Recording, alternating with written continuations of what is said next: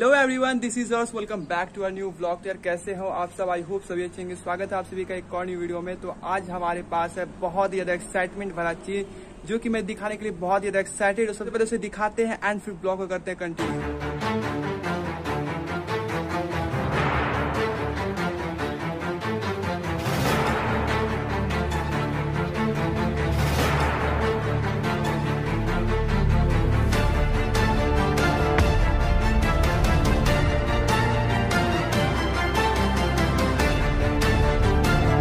तो गैस आज हमारे सामने है जावा 4.2 क्लासिक लेजेंड और इससे मैं आज क्लास जाने वाला हूँ।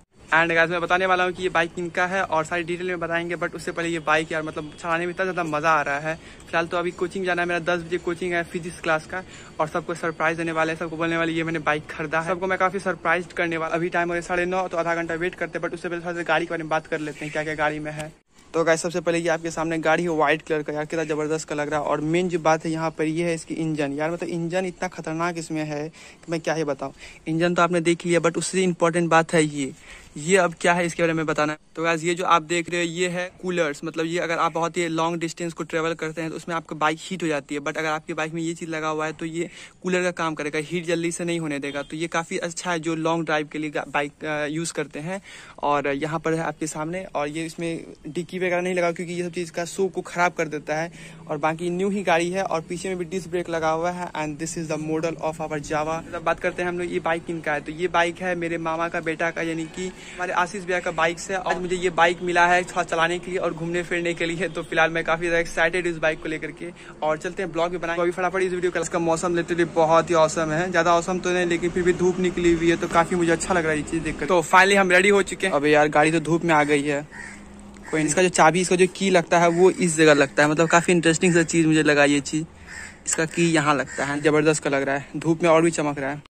तो गैस फटाफट निकलते क्योंकि मेरे पास टाइम बहुत ही कम है। दस बज करके आठ मिनट हो चुका है और फटाफट निकलते हो सकता है क्लास स्टार्ट हो भी गई हो।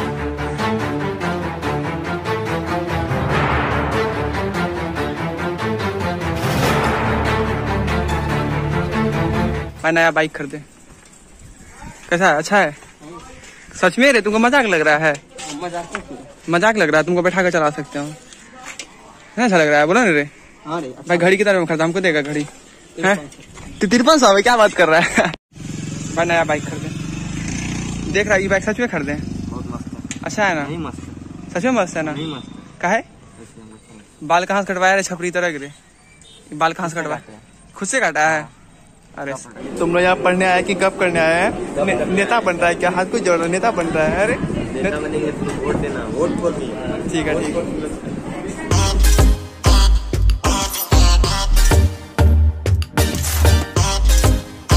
फाइनली घर आ चुके हैं। और बाइक को मैंने यहाँ पार्क कर दिया और एक खास बात यहाँ पर अगर कोई भी मिट्टी हल्का सा भी ढीला रहा तो ये तुरंत जो है इसको इतना मतलब डीप कर देता है क्योंकि इसका वेट बहुत ही खतरनाक वाला मतलब बहुत ही ज़्यादा वेट है। इसलिए कहीं भी इसको रखने से पहले कुछ ना कुछ अंदर में तख्ता या कुछ ऐसा रखना पड़ता है ताकि ये डीप ना करें तो गिर भी सकता है। बट जो एक्सपीरियंस है ऐसे चलाने के बाद लिटरली औसम था मतलब मज़ा आ रहा था। रोड प्रेजेंटेशन बहुत ही मस्त है इस बाइक का। तो फ़िलहाल अभी आ चुके घर एंड अब चलते हैं नीचे जल्दी से और यहाँ पार्क तो मैंने कर ही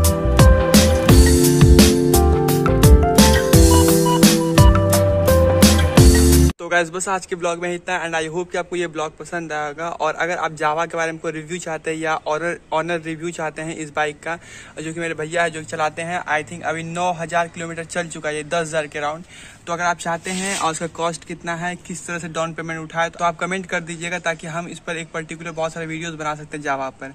तो बस आज के ब्लॉग में इतना। Thank you so much for watching तब तक के लिए bye take care do the like and hit the subscribe